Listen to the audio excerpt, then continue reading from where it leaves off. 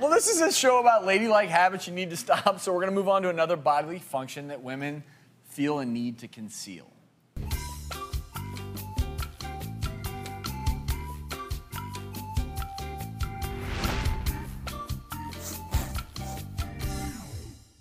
Stifling a sneeze. Anyone guilty of this? Sure. You're in a public Yeah. place, you feel like it's inappropriate, and 30 plus percent of women report regularly doing this. You hold the sneeze in. and it's not a good thing. Can I show you what's going on here?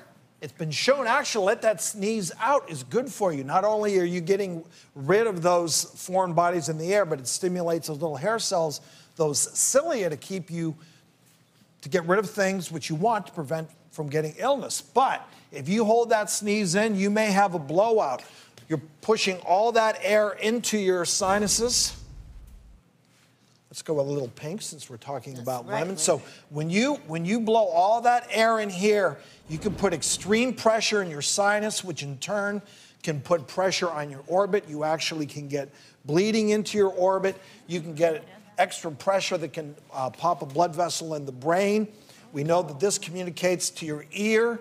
You can pop an eardrum from holding in a sneeze. So the answer is let it out. So out. it's almost you're still sneezing, but you're sneezing into your sinus cavities instead of right, you're blowing it all back instead of letting it out. There's a reason that we do these things, and so instead of holding a sneeze in, you know, maybe use your elbow or carry an extra set of tissues with you because if you're sick and you're constantly holding your sneezes in, your body is trying to get rid of those foreign pathogens. It wants to get all of that out. So allow yourself to do it. You can still do it in a ladylike way, whether you're a man or a woman. That's right. And uh, just don't sneeze on someone else.